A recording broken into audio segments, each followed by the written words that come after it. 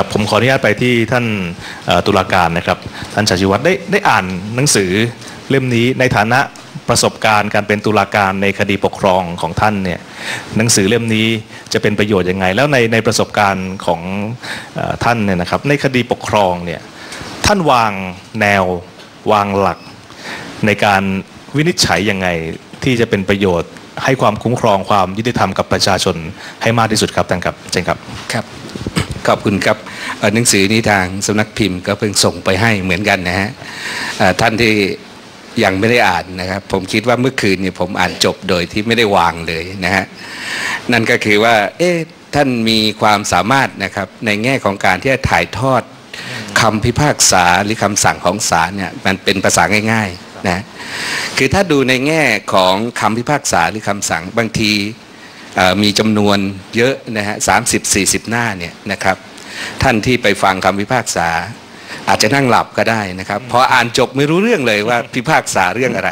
นะฮะแต่ตรงนี้จะเห็นเป็นประเด็นที่ที่ชัดนะครับในแง่ของการนำเสนอ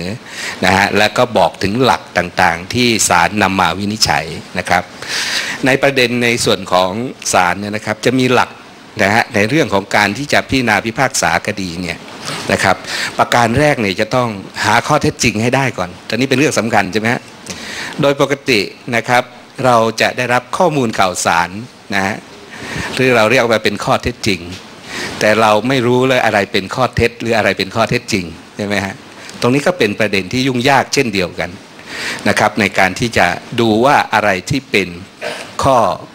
เท็จจริงจริง ๆ ในคดีนั้นนะครับ เพราะว่าคู่ความหรือผู้ฟ้องคดีหรือผู้ถูกฟ้องคดีนะครับ ก็มักจะนำเสนอนะฮะข้อมูลที่เป็นประโยชน์กับตัวเอง เราก็ไม่รู้ว่าใครพูดจริง หรือใครพูดไม่จริง หรือเขียนจริงหรือไม่จริงใช่ไหมฮะตรงนี้เป็นประเด็นแรกที่จะต้องแสวงหาข้อเท็จจริงให้ได้อย่างเพียงพอที่จะวินิจฉัยคดีได้นะครับ หลักที่สองนะฮะก็คือว่าจำเป็นที่จะต้องรู้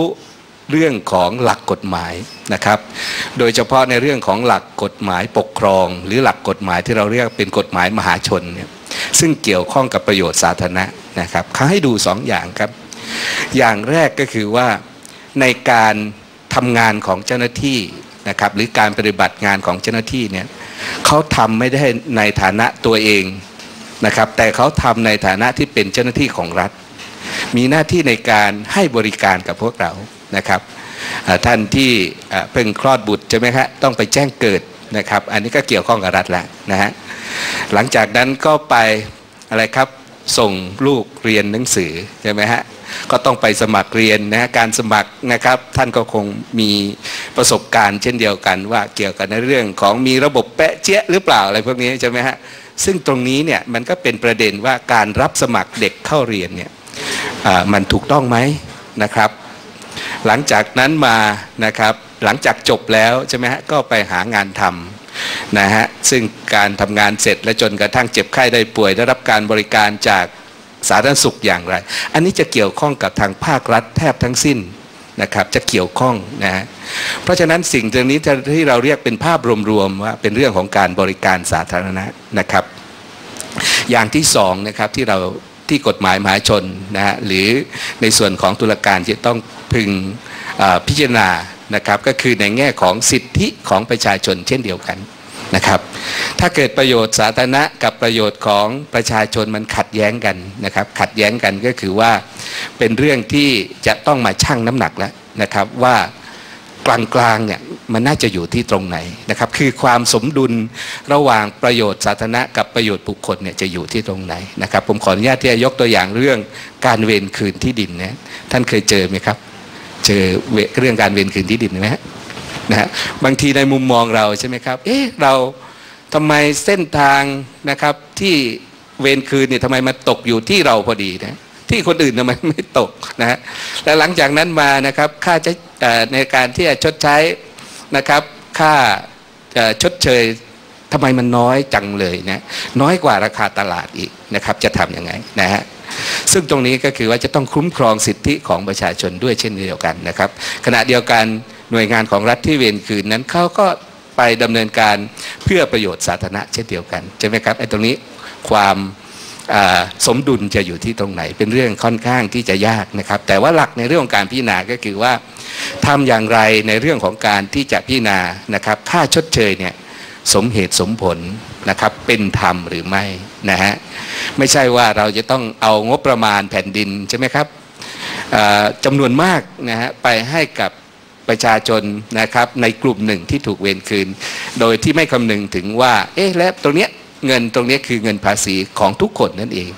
นะครับก็เป็นเรื่องที่จะต้องพิจารณาในแต่ละคดีหรือในแต่ละรายละเอียดนะครับในส่วนนั้นไปครับช่วงนี้อยากจะให้ท่านเลขาได้เอ่อเน้นย้ำบางคดีที่ท่านนำมาเล่าในหนังสือเล่มนี้เนี่ยคดีที่อยากจะให้ท่านผู้มีเกียรติเนี่ยได้ฟังเป็นคดีตัวอย่าง เพื่อเป็นอุทาหรณ์หรือว่าเป็นเอ่อแนวที่เป็นประโยชน์ต่อการดำเนินความยุติธรรมเนี่ยคดีไหนบ้างครับเชิญครับเอ่อผมต่อจากท่านชาชีวัตรเล็กน้อยก็คือว่า คดีปกครองเนี่ยจำเป็นต้องดูสองส่วนด้วยกัน ส่วนแรกก็คือประโยชน์สาธารณะ ประโยชน์สาธารณะคืออะไรครับ ประโยชน์ของคนทั้งประเทศ ถามว่าเป็นประโยชน์กับทุกคนเนี่ย เพราะฉะนั้นตรงนี้ก็เป็นข้างหนึ่งของตาช่างละ อีกส่วนหนึ่งก็คือสิทธิเสรีภาพบุคคล หรือประโยชน์ของเอกชน ถามว่าถ้าเป็นประเทศแล้วก็ดูแต่ประโยชน์สาธารณะอย่างเดียว ไม่ต้องดูประโยชน์เอกชนได้หรือไม่ ก็คงไม่ได้ ถูกไหมครับ เพราะว่าหน้าที่ของรัฐก็ต้องดูเอกชนด้วย เพราะเอกชนแต่ละคนก็คือประชาชนนั่นเองนะครับ และสังคมประชาธิปไตยเนี่ยที่อยู่ร่วมกันได้ก็คือการปกครองโดยเสียงข้างมากที่อดทนและนะดูแลเสียงข้างน้อยนี่แหละ ดูแลคนที่ด้อยโอกาสมากกว่า คนที่มีรายได้น้อยกว่า นะคนที่อ่อนแอกว่านะย้อนกลับมาครับ คดีปกครองก็จะมีเรื่องราวเหล่านี้ครับ บางเรื่องเนี่ยเป็นประโยชน์สาธารณะนะมากกว่าประโยชน์เอกชน เอกชนต้องฟังนะครับ แต่ประโยชน์สาธารณะนั้นนะเป็นประโยชน์สาธารณะจริงหรือไม่ เพราะคนที่มาดูแลประโยชน์สาธารณะคือคนธรรมดาไปสวมหมวกเป็นนายอำเภอเป็นผู้ว่าเป็นอะไรต่างๆ ก็มีชีวิตจิตใจอาจจะอคติหรืออาจจะคิดไม่ถูกก็ได้ ก็ต้องถูกตรวจสอบ ใช่ไหมครับ อีกฝ่ายหนึ่งก็เป็นเรื่องเอกชน เพราะฉะนั้นเรื่องเหล่านี้ก็จะเป็นเรื่องคุ้มครองสิทธิ์ แล้วก็เป็นเรื่องดูแลประโยชน์สาธารณะย้อนไปตัวอย่างเมื่อกี้ครับ ถ้าจะต้องตัดถนนให้คนทั้งประเทศใช้เนี่ยคนร้อยครอบครัวทำยังไงครับ ตัดสินยังไงก็ต้องยอมครับ ยอมให้เขาตัดถนนครับ เพราะคนทั้งประเทศได้ใช้ แต่ต้องดูแลคนร้อยครอบครัวนี้ครับ ต้องถือว่าคนหนึ่งร้อยครอบครัว เขาเสียสละแทนคนทั้งประเทศนะครับ เพราะฉะนั้นต้องหาที่อยู่ให้เขาอย่างเหมาะสมชดเชยเขาอย่างดีนะครับ อันนี้ก็บอกเราก็ต้องถูกน้ำหนักอย่างนี้นะครับ แต่ว่าหลับหูหลับตาให้ได้เยอะๆก็ก็คงไม่ได้เหมือนกัน เพราะว่าเป็นเงินภาษีอากรนะฮะอย่างตัวอย่างในเรื่องนี้ก็มีอย่างอย่างกรณีที่มีชาวบ้านคนหนึ่งเนี่ยเขาก็ทำโฮมสเตย์ให้มาท่องเที่ยวทางน้ำแบบอนุรักษ์ฮะลงทุนไป 20 ล้านนะฮะสร้างบ้าน ให้ฝรั่งมั่งให้คนไทยนี่แหละนะฮะไปเที่ยวเห็นวิถีชีวิตคนริมน้ำมีเรือออกไปดูตามฝั่งต่างๆ วันดีคืนดีนะหน่วยงานท้องถิ่นนะครับ สร้างสะพานคอนกรีตคนเดิน มาขวางหน้าบ้านเลยครับ ขวางทางน้ำที่จะเอาเรือออกเอาเรือเข้านะครับ ตรงนี้ก็อ้างเหตุประโยชน์สาธารณะบอกว่า ท่านคเคยเห็นนะครับ ที่รถรถวิ่งไม่ได้หรอก แต่ว่าให้คนเดินได้ไงบอกว่าสะพานนี้คนใช้ 400 กว่าคน 400 กว่าคน 5 หมู่บ้านนะก็เขียนในโครงการอย่างนั้น ถ้าอย่างนี้มันก็โอ้โหประโยชน์สาธารณะก็ควรจะทำนะแต่ว่ามันก็ไปกระทบสิทธิ์เนี่ยกระทบสิทธิเอกชน คือคนที่ลงทุนเนี่ยนะผู้หญิงคนหนึ่งเนี่ยไปเก็บหอมรอมริบลงทุนอยากจะทำ ท่องเที่ยวเชิงอนุรักษ์ดีต่อสังคมด้วย เกิดการจ้างงานอะไรต่างๆ เจ๊งเลยครับ ก็มาร้องศาลปกครองว่าการทำสะพานเนี่ยนะกระทบสิทธิ์ของเขาทำให้เขาาเดือดร้อนเสียหายศาลปกครองลงไปดูครับ แล้วเรื่องนี้ครับศาลปกครองสั่งให้ทุบสะพานครับ เพราะเหตุว่าข้ออ้างที่บอกว่าประโยชน์สาธารณะมีคนใช้นั่นน่ะในความเป็นจริงไม่มีคนเดิน แล้วก็ ที่มันผ่านในคลองเนี่ยหน้าบ้านก็มีถนนอยู่แล้วครับ คนก็ไม่ได้ค่อยได้ใช้ แล้วใช้จริง ๆ ก็ไม่สะดวกครับไปดูเลยในรูปถ่ายในข้อได้จริงที่เอาไปเดินเผชิญสืบเนี่ย แต่ละบ้านถ้าจะใช้สะพานบางบ้านต้องเอาไม้มาพาดก่อนแล้วค่อยเดินเข้าไปครับ อย่างเงี้ยฮะข้อได้จริงคือไม่ได้ทำเอ่อเพื่อประโยชน์สาธารณะจริง ๆ แล้วเมื่อชั่งน้ำหนักอย่างนี้แล้วเนี่ยประโยชน์เอกชนเนี่ยที่ต้องเคารพเนี่ยมากกว่าครับ ก็สั่งให้ทุบสะพานนั้นเป็นต้น หลายเรื่องครับ อย่างเรื่องง่ายๆ เรื่องขอติดตั้งประปาครับ เราไปซื้อบ้านต่อจากคนอื่นเขา ก็คนนั้นเขาอะไรอะเขาทิ้งบ้านไปอะก็คืออาจจะนะไม่มีความสามารถในการเช่าซื้ออเช่าซื้ออะไรต่างผ่อนส่ง แล้วก็หนีไปละ ก็ด้วยเหตุผลของเขาเราไม่ต้องไปตามไงแต่เราไปซื้อบ้านต่อจากเขาเนี่ยที่เขาไม่อยู่บ้านหลังนี้แล้วเนี่ย คนที่อยู่บ้านเดิมเขาก็ปล่อยให้เอ่อประปาขาดไปละนะฮะคือคือไม่ได้ใช้ประปาไงก็ค้างค่าประปาเขาก็ตัดไป ไปขอติดตั้งประปาใหม่ครับกฎของประปาบอกว่าถ้าขอติดตั้งใหม่นะต้องมีค่าเหมาจ่ายเท่านั้นเท่านี้ครับ ตรงนี้เนี่ยคนที่เสียสตางค์เนี่ยก็ก็คิดแล้วครับมันไม่เหมือนเราสร้างบ้านใหม่อะครับท่อเธอยังเริ่มยังมีอยู่ก็ก็แค่ยกอันนี้มาแต่ทำไมคิดเหมาจ่ายเหมือนกันอย่างนี้เป็นต้น ศาลปกครองก็ได้ชี้ว่าอย่างนี้ยเป็นภาระเกินไป แล้วก็ไม่ควรคิดอย่างนี้นะครับ ก็ให้บอกเลิกเพิกถอนกฎในข้อนี้ฮะครับ เราก็เสียเอ่อเอ่อค่าใช้จ่ายเนี่ยนะไม่ใช่การติดตั้งประปาใหม่นะอะไรเป็นต้นครับหรือแม้กระทั่งเรื่องอะไรครับ เรื่องการสร้างตึกเอ่อศาลปกครองสั่งทุบตึกนะในซอยร่วมฤดีเนี่ยอ๋อนะอันนี้ก็เป็นประเด็นที่ชี้ให้เห็นว่า ระหว่างประโยชน์สาธารณะกับประโยชน์เอกชนนะครับ ที่จะต้องรับความคุ้มครองนะแล้วก็กรณีที่ไม่ปฏิบัติตามกฎหมายเนี่ยนะฮะนะเอ่อควรจะดำเนินการอย่างไร การที่เจ้าที่ต้องปฏิบัติตามกฎหมาย นั่นหมายถึงการคุ้มครองประโยชน์สาธารณะนะครับครับกรณีนี้ก็เหตุเกิดเพราะว่า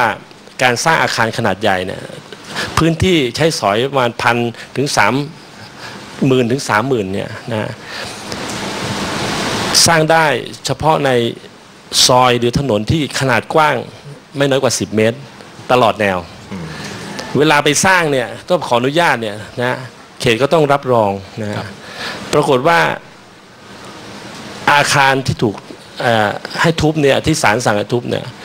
อยู่บนถนนที่ความกว้างความกว้างไม่ถึง 10 เมตรครับ เพราะอะไรครับ จะมีปัญหาต่อการจราจร ต่อการรักษาความปลอดภัย มีไฟไหม้รถอ่าดับเพลิงเข้าไปไม่ได้ ถ้าปล่อยไว้อย่างนี้แล้วถ้าเกิดมีปัญหาเหล่านั้นเนี่ยคนในอยู่ในซอยในท้ายซอยเสียหายถึงชีวิตและทรัพย์สินได้เป็นต้นเพราะฉะนั้นกรณีอย่างนี้ศาลก็สั่งให้ให้ให้ทุบหรือในในในในต่างจังหวัดมีอยู่จังหวัดหนึ่งนะฮะก็เจตนาดีมากก็คือว่าจะแก้ไขปัญหาจราจร ครับนะครับ จะแก้ไขปัญหาจราจร ถนนมันแคบก็ขยายถนนให้เต็มๆ จะได้รถจะได้วิ่งสะดวกนะครับ มีที่จอดอะไรต่างๆ การค้าขายอะไรต่างๆก็ดีทำแบบสำรวจชาวบ้านก็เออเห็นด้วยเห็นดีด้วย ปรากฏว่ายังไงไหมครับ ขยายถนนจนทางเท้าหายไปเลยครับแล้วถามว่าผมไม่มีรถแล้วผมจะต้องเดินเนี่ยผมจะทำยังไง การขยายถนนเพื่ออะไรครับให้คนใช้รถ แต่ไอ้คนเดินเนี่ยทำไม่ทำไมไม่เอ่อไม่คำนึงถึงเป็นต้น แล้วพอเอ่อมีการฟ้องศาลศาลก็ลงไปตรวจสอบครับ ว่าถนนและทางเท้าเนี่ยนะฮะในกฎของกรมโยธาธิการเนี่ยนะมันก็ต้องมีขนาดเท่าไหร่อย่างไร เพราะฉะนั้นไก่การทำอย่างนี้เนี่ยมันก็ไปกระทบสิทธิ์ของคนใช้สัญจรในการเดินครับเหมือนกัน เพราะฉะนั้นนะศาลก็บังคับนะให้เทศบาลนั้นเนี่ย ต้องรื้อถนนนะฮะแล้วก็ทำทางเท้ากลับให้ให้เหมือนเดิม เพื่อให้คนได้ได้ใช้ทางเท้าครับ นะครับ อันนี้ก็ก็เป็นตัวอย่างที่ที่ได้ชี้ให้เห็นว่าวิธีคิดของ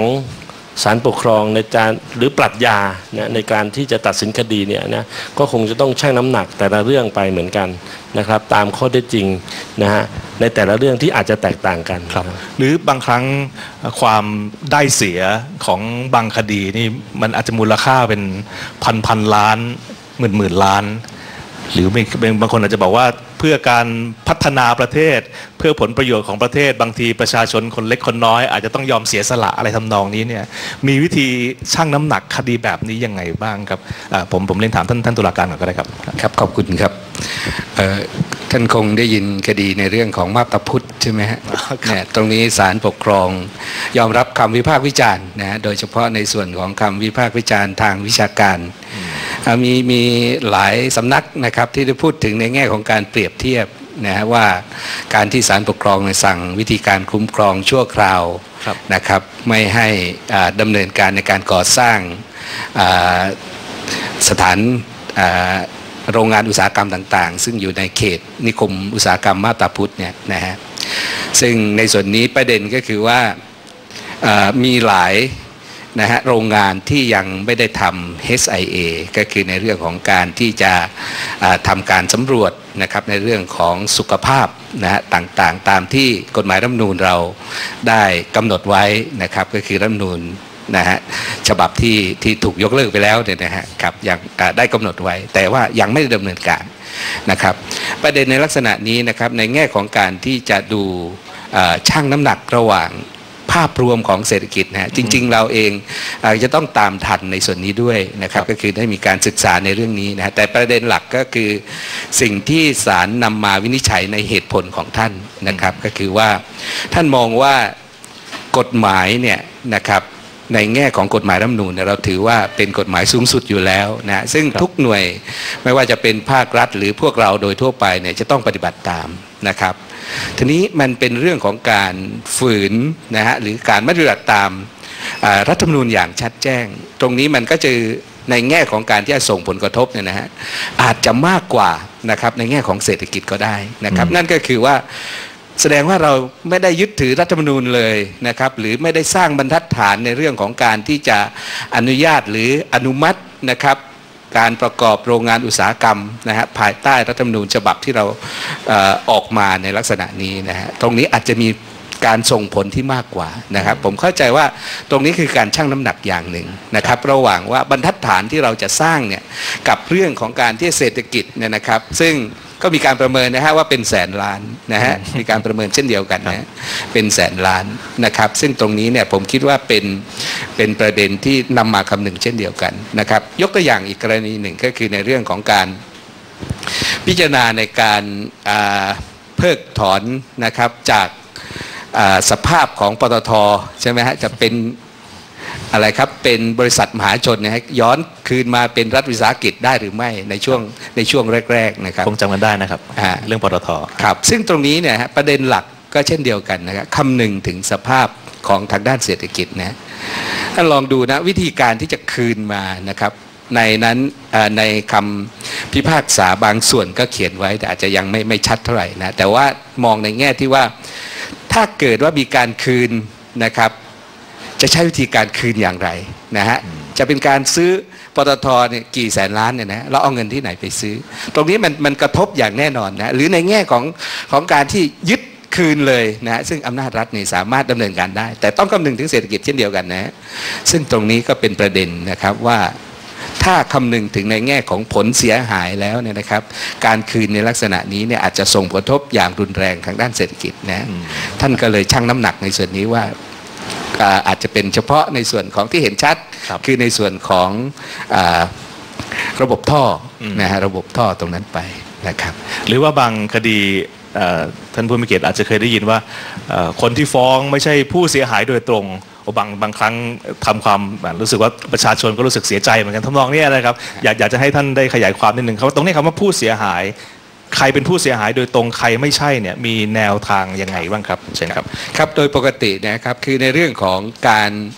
อ่าดำเนินการของภาครัฐเนี่ยนะฮะครับจะต้องกระทบต่อนะกระทบอะไรฮะกระทบต่อสิทธิ์ของเรา ไม่ว่าจะเป็นสิทธินะฮะในทรัพย์สินหรือสิทธิในร่างกาย หรือสิทธิอย่างอื่นอย่างใดนะฮะต้องกระทบนะฮะแต่ศาลปกครองตีความกว้างกว่านี้ครับครับ นอกจากสิทธิ์ของท่านเนี่ยท่านเกิดความเสียหาย เดือดร้อนหรือเสียหายอืมนะครับ ยกตัวอย่างเช่นเนี่ยนะฮะถ้าเกิดว่าท่านอ่ามีบ้านนะฮะซึ่งเทศบาลอยู่ในเขตเทศบาลอยู่นะฮะแต่เป็นซอยเปลี่ยวนะฮะไม่มีไฟฟ้านะครับในการส่องสว่าง ท่านมองดูว่าตรงนี้เองน่าจะไม่ปลอดภัยอืมใช่ไหมฮะตรงนี้ถือว่าสิทธิของท่านก็คือกระทบแล้ว นะครับหรือถ้าจะมองในแง่ของความเสียหายของท่านเนี่ยความไม่มั่นคงปลอดภัยในชีวิตหรือทรัพย์สินของท่านเนี่ยนะครับเกิดความเดือดร้อนขึ้นมาแล้วถือว่าเราเป็นผู้เสียหายละเป็นผู้เสียหายแล้วนะอืมศาลปกครองมองกว้างครับมองกว้างครับกว่าตัวสิทธิ โดยเฉพาะโดยตรงครับนะขอให้มีผลกระทบที่เห็นได้ชัดนะฮะจากการกระทำของฝ่ายรัฐหรือเจ้าหน้าที่ของรัฐอืมนะฮะครับครับประเด็นนี้ครับท่านท่านเลขาครับ อยากจะเสริมยังไงบ้างใช่ครับครับก็ ถึงถึงถึงได้เอ่อแนะนำให้อ่านหนังสือเล่มนี้นะครับ เพราะว่าเอ่อแต่ละคดีเนี่ยมันจะเป็นรูปธรรมครับนะของการชั่งน้ำหนัก รูปธรรมของการให้เหตุผลของเออคำพิพากษานะครับ เพราะว่าคุณภาพของคำพิพากษานะแล้วก็สาระสำคัญจริง ๆ ก็คืออยู่ที่เหตุผลนะของเออเอ่อผู้ที่เป็นตุลาการครับในการตัดสินคดีนะครับ แล้วก็เรื่องเออ ทำนองนี้เนี่ยนะฮะก็เอ่อเกิดขึ้นมากมายนะครับ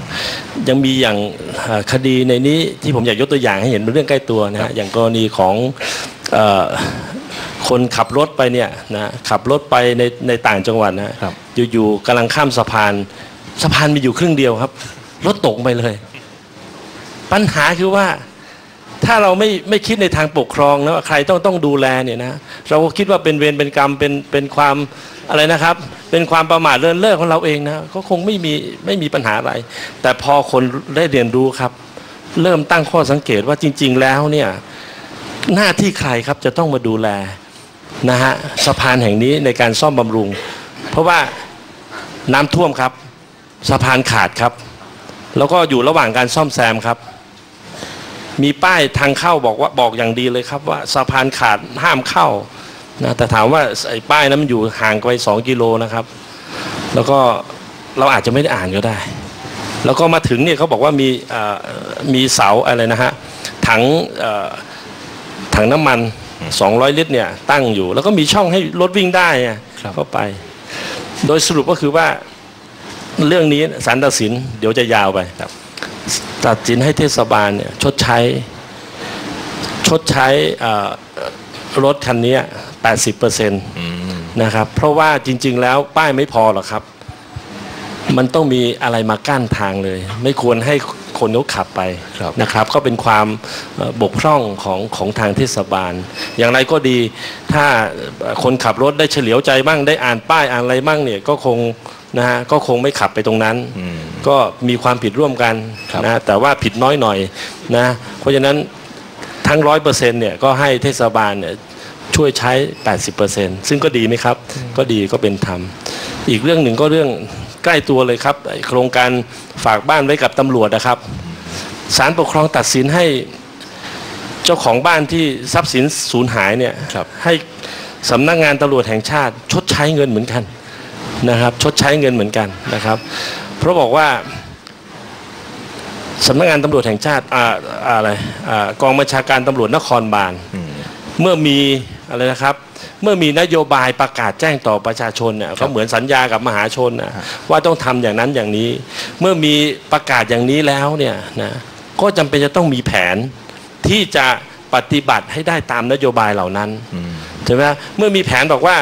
ถ้าใครมาลงทะเบียนกับเรานะครับ เราก็จะดูว่ามีกี่หลัง ก็ต้องจัดอัตรากำลังจัดจุดตรวจนะครับ ไปตั้งเอ่ออะไรที่ก็ว่าเอ่อกล่องตรวจนะครับ เวลาเอ่อตำรวจเข้าไปตรวจว่าได้มาเวลาเท่าไหร่เหตุการณ์เรียบร้อยก็ใส่ตู้แดงไปในตู้อ่าในตู้แดงตู้แดงเป็นต้นก็ต้องวางแผนอย่างนั้นนะแต่ปรากฏว่ารายนี้บอกว่านี่ถ้าไม่มีโครงการเนี่ยฉันก็จะให้เอ่อพี่น้องน่ะมานอนเฝ้า แต่ว่าเห็นประกาศดีว่าฝากไว้กับตำรวจแล้วสบายใจนะก็เลยไม่ได้ให้ญาติมานอนเฝ้าครับ สุดท้ายมันหายอะของหายแล้วไม่ใช่หาย เฉพาะไอ้ชิ้นเล็กชิ้นน้อยนะฮะทีวีตู้เย็นก็หายไป แม้แต่แชมพูในในห้องน้ำยังหายไปด้วยเลยอย่างเงี้ยคือก็ก็บรรยายดีก็คือว่าใช้เวลานานเลยในการขนอะไรเป็นต้นนะสุดท้ายเนี่ยศาลตัดสินให้สำนักงานตำรวจแห่งชาติได้ชดใช้ อันนี้ก็เป็นเป็นตัวอย่างหนึ่งนะครับ ก็คืออาจจะไม่ใช่ความตั้งใจอะไรมาก แต่ว่าเป็นบทเรียนว่าหน่วยงานของรัฐ นะต้องมีความพร้อมในการที่จะประกาศนโยบายอะไรต่างๆ ออกไป แล้วมีแผนก็ต้องทำตามแผน ถ้าไม่ได้ทำตามนั้น ซึ่งประชาชนนะเข้าใจได้ว่าต้องทำตามนั้นเนี่ยก็ต้องรับผิดชอบเช่นเดียวกันครับนะครับผมย้อนกลับมาอีกครั้งเรื่องเรื่องคำฟ้องหรือการฟ้องเนี่ยไม่ต้องกังวลเลยใช่ไหมครับว่าถ้าเราจะไม่รู้ภาษากฎหมาย ถ้าเราจะเรียบเรียง ถ้าเราจะเขียนคำฟ้องยังไงเนี่ยในแต่ละขั้นตอนในการเข้าถึงศาลปกครองเนี่ย ก็มีคำแนะนำจากเจ้าหน้าที่แม้กระทั่งตุลาการเอง ก็อาจจะช่วยขัดเกลาด้วยใช่หรือเปล่าครับท่านท่านตุลาการครับครับขอบคุณครับเอ่อประเด็นในเรื่องของการฟ้องนะฮะผมได้รับนะครับคำฟ้องปราดหลายหลายเรื่องนะครับเอ่อโดยเฉพาะนะครับในเรื่องของการพูดถึงนะครับบอกว่าเอ๊ะขณะนี้ปรากฏว่าที่สมองของผมนะครับบรรยายนะครับครับไม่รู้ว่ามีคลื่นอะไรเข้ามารบกวนอยู่ตลอดเวลานะครับ ขอให้ศาลนะครับเข้าไปตรวจสอบนะฮะแล้วสั่งให้กสทชนะฮะในฐานะผู้กำกับโอ้ในเรื่องของคลื่นโอ้นะฮะงานใหญ่เลยคลื่นความถี่นะครับ ให้ไปช่วยตรวจสอบด้วยว่าเป็นอย่างไรนะครับ ตรงนี้นะฮะศาลมีหน้าที่นะครับในการที่จะพิจารณาว่าคำฟ้องเนี่ยนะฮะอย่างแรกก็คือว่า อ่านแล้วรู้เรื่องไหมนะครับ ก็จะมีประเด็นพวกนี้มาค่อนข้างเยอะโดยเฉพาะในช่วงแรก ๆ ของการตั้งศาลนะครับ เราก็มีระบบนะฮะอย่างเช่น ในระบบของท่านเลขาก็คือว่าเจ้าหน้าที่เนี่ยจะสามารถที่จะให้ข้อแนะนำได้นะครับ ไม่ยากเลยครับ ก็คือไปที่สำนักงาน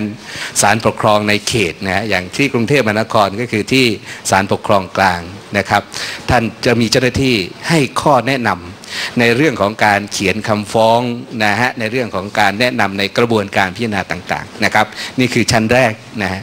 ชั้นที่สองก็คือเรื่องอที่ขึ้นมาถึง ตุลาการหรือศาลแล้วเนี่ยนะครับ ก็มีหน้าที่อีกเช่นเดียวกันครับว่า จะต้องให้ผู้ฟ้องคดีเนี่ยแก้ไขจนรู้เรื่องให้ได้นะฮะว่าประสงค์อะไรนะครับ มีใครที่ทำให้เกิดความเดือดร้อนเสียหายนะฮะและก็ประสงค์ที่อยากจะให้ศาลเนี่ยนะครับมีคำสั่งอย่างไรคือให้ช่วยอย่างไรนะครับ เพราะว่าในประเด็นนะครับในเรื่องของการฟ้องศาลเนี่ยก็คือนะฮะมันจะมีอยู่ 4 ลักษณะใหญ่ๆนะครับลักษณะแรกนั้นก็คือว่า ขอให้ศาลเนี่ยเพิกถอนคำสั่ง หรือกฎเกณฑ์ต่างๆ ที่ประกาศออกมานะครับ อย่างที่สองเนี่ยทำไมทำงานให้ช้าเกินไปนะครับ ก็ขอให้ศาลมีคำสั่งให้หน่วยงานเนี่ยปฏิบัติหน้าที่ภายในระยะเวลาที่กำหนดได้นะครับ ในประเด็นที่3นะครับก็คือว่าเกิดความเสียหายจากการกระทำนะฮะของหน่วยงานของรัฐและเจ้าหน้าที่ของรัฐเนี่ย ขอให้สั่งให้ใช้เงินได้ไหมนะครับ อันนี้ก็ต้องขอมานะครับ และก็ถ้าเกิดมีการทำสัญญาที่เราเรียกว่าเป็นสัญญาทางปกครองครับนะฮะในส่วนนี้เนี่ยก็คือว่าคู่กรณีเนี่ยเกิดความเสียหายจากการยกเลิกสัญญาที่ไม่ถูกต้องนะฮะตรงนี้ก็อาจจะต้องขอให้ศาลเนี่ยสั่งให้ชดใช้ค่าเสียหาย เกิดจากการยกเลิกสัญญาตรงนั้นได้นะครับ ตรงนี้เป็นเรื่องที่จะต้องเขียนให้ชัดเจนในส่วนของคำฟ้องนะไม่ชัดไม่เป็นไรครับ เพราะว่าอย่างศาลก็ต้องดำเนินการให้ชัดให้ได้ครับอืมคล้ายๆ กับเป็นเรื่องของถ้าเกิดมันจะมีสองอย่างนะครับ คือครับชัดแล้ววัตถุประสงค์นะฮะเขียนเอ่อตรวจสอบแล้วนะครับ แต่ไม่สามารถรับได้ นั่นก็คืออาจจะเป็นคดีแพ่ง ซึ่งต้องไปฟ้องที่ทำนะจะไงศาลก็ต้องดูตรงนี้ให้ชัดครับเอ่อ ในลักษณะของการเขียนคำฟ้องนะครับไม่ต้องไม่ต้องกังวลนะฮะขอให้ท่านอธิบายนะฮะถึง พฤติการต่างๆนะฮะที่เกิดขึ้นจากการกระทำของหน่วยงานหรือเจ้าหน้าที่ของรัฐให้ชัด ระบายมาให้ชัดอ่าระบายออกมาให้ชัดครับบางทีอาจจะถือว่าเป็นคำร้องทุกข์ก็ได้ครับเราก็ถือว่าเป็นคำฟ้องอ๋อครับถือเป็นคำร้องทุกข์คำร้องทุกข์หรือเป็นคำฟ้องนะแต่ว่าในระบบศาลถือว่าเป็นคำฟ้องเพราะว่าปรัชญาของศาลปกครองจริงๆก็ก็ถือกำเนิดมาจากการการร้องทุกข์ใช่ไหมการร้องทุกข์ของชาวบ้านเนี่ยนะครับใช่ใช่ครับครับท่านท่านเลขาครับเรื่องการฟ้องครับเอ่อเรื่องการฟ้องง่ายมากเลยที่ที่ผมบอกนะฮะว่าเอาเอากระดาษกล้วยแขกมาฟ้องก็ยังได้เลยนะคือไม่ได้ห้ามอะไร แต่ห้ามอย่างที่บอกว่าระบายอารมณ์เกินไปบางทีใช้คำหยาบอะบางทีมีสัตว์เต็มไปหมดเลยทั้งป่าเลย ก็อยู่ในนี้ไม่รู้มายังไง คืออย่างนี้มันก็ก็ต้องเห็นใจท่านตุลาการเหมือนกันนะฮะแล้วจริง ๆแล้วนี่ฮะเราเข้าถึงได้ง่ายนะเว็บไซต์ศาลปกครองเป็นที่นิยมนะครับ ท่านเข้าไปเลยครับ มีตัวอย่างมีการ์ตูนวิธีอธิบายนะเเงื่อนไขการฟ้องคดีสิทธิในการฟ้องคดีวิธีการฟ้องคดีของท่านได้เลยนะครับ แล้วก็ โทรศัพท์ 4 ตัวครับ 1355 1355 ทั่วประเทศครับ เสียเงินอยู่ 3 บาท แต่ว่า 3 บาทคุย 3 ชั่วโมงก็ได้นะ ไม่มีปัญหาอะไร ถ้าเป็นสาระสำคัญต่างๆนะท่านสามารถขอข้อมูลข่าวสาร หรือจะขอพูดขอคุยกับเจ้าที่ที่เราจัดไว้เป็นหน่วยให้คำปรึกษาแนะนำนะซึ่งตรงนี้ก็จะเป็นประโยชน์ครับครับ